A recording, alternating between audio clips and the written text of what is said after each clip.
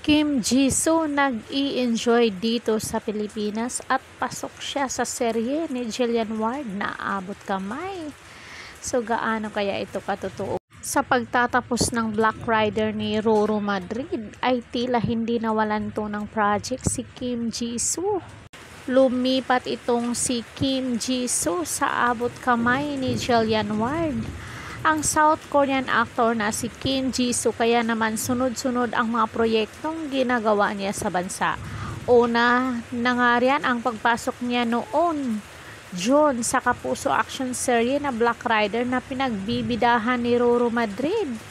Isa rin siya sa mga bituing rumampa at numalo sa GMA Gala 2024 noong July kung saan siya ang tinanghal na red carpet scene stealer. Wow, congrats at nag-enjoy ka dito, Kim Jisoo.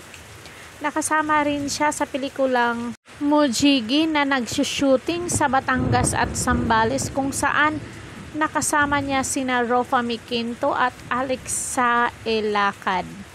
Magsistay na kaya to si Kim Jisoo sa Pilipinas? Mukhang ang dami niyang project dito sunod-sunod.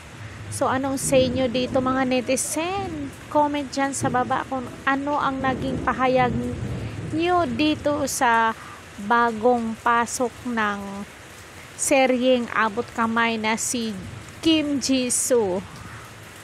Bagay rin ito sila ni Jillian Ward.